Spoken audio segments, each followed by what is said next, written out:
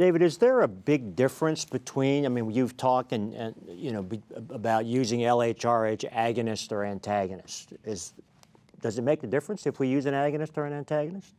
Well, I think it does, and I'm just uh, historically, um, it, what we, we measured testosterone by a double isotope dilution method, which was not accurate below 50, and so that was the standard that we, the FDA set. Well, then we came along with other ways like mass spec and things, and we learned that with orchiectomy, your testosterone got down to bilateral orchiectomy 14 to 17, but you still had some testosterone around.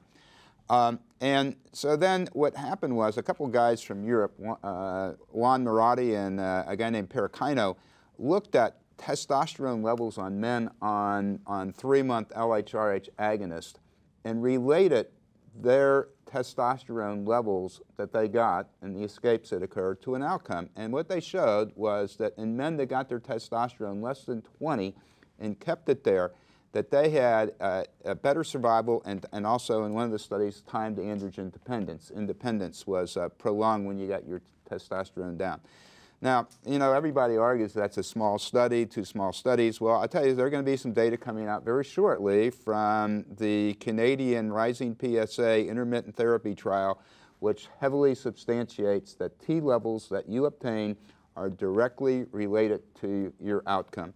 So then it comes back to Schally back in the 80s when he was working with LHRH compounds, and LHRH actually, uh, and later won a Nobel Prize. He was working trying to get an antagonist. He wanted to lower LH and FSH right away. Well, he had one, but it could never work in, in, in, in, in humans because of the volume and histamine problems. And so they went with an agonist, which is a decapeptide where you change one amino acid and they kind of backdoor it. You know, your, test, your FSH goes up, your LH goes up before it goes down. And so what, what happens is there are a couple things that are bad. One is called surge or flare. And you know, we know that if you have spinal cord compression or urinary problems and you get this, it could get worse. And, uh, but we don't see that anymore, so we don't care about that. I mean, we'll say, what's a little rise in testosterone in a guy with PSA or, or you know, bone mets? And, and you know, we have a, we have a nice uh, thing we're showing here of an MRI done on men, an MRI done on a man with metastatic disease, and you can see the lesion and you can follow it for three months. There's not much change. An MRI of a, of a man that has, uh, that got an, a, an agonist, and what you see is a significant flare of the disease in the bone. I mean, it really lights up. And then a guy that got an antagonist, you see an immediate improvement in the MRI. Isn't that what we want? Plus PSA goes up when you give an agonist for biochemical failure. And I think the other thing that, that's really important right now is this cardiovascular stuff with androgen deprivation, and that's why we're moving to shorter androgen deprivation. And the, you know the issue is is is that there's actually been FDA warnings against agonists, not antagonists. And Neil Shore, who we all know, will be presenting very shortly a pooled data analysis from um, a number of five or six large trials of a drug called Degarelix, which is antagonist versus an agonist.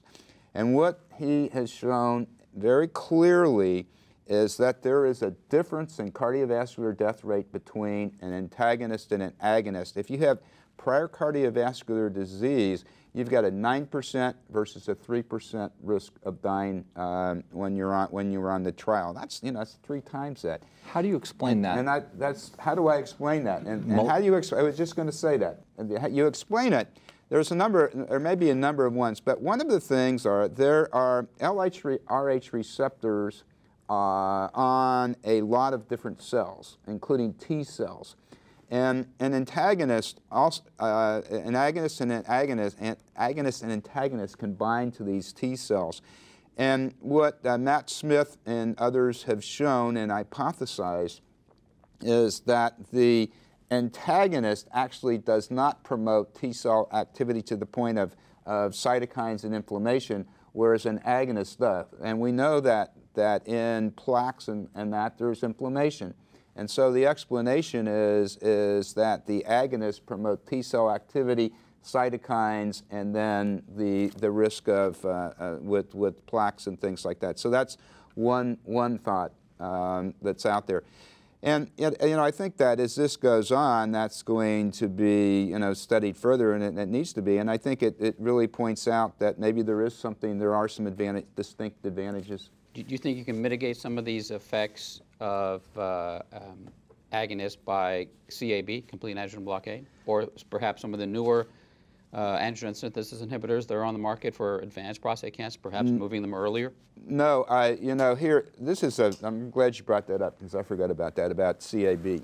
Um, you, you don't block, you don't block flare completely with an anti-androgen. You still get it. You can still, still see PSAs go up. And then we did a study uh, years ago of, of uh, Lupron, Leuprolide, and flutamide that showed that there was a six-month survival benefit. And then we turned around and did another study in SWOG with orchiectomy and flutamide, and we didn't see the big difference. And everybody said, well, that's because Lupron's a bad dog, or Leuprolide and flutamide makes it look good. What, what, we, we, we also learned with antagonist and agonist is FSH. FSH is an important stimulus. It's a mitogen. It's a, there's articles in New England Journal of Medicine about FSH in blood vessels. It has an angiogenic effect. It stimulates. So the, some of the highest rates of FSH you get in, in men on hormone therapy are with bilateral orchiectomy. And the lowest rate you get is with an antagonist, and an agonist is above that. So it may be the reason our orchiectomy trial was negative, uh, not so positive, was FSH. FSH. Dr.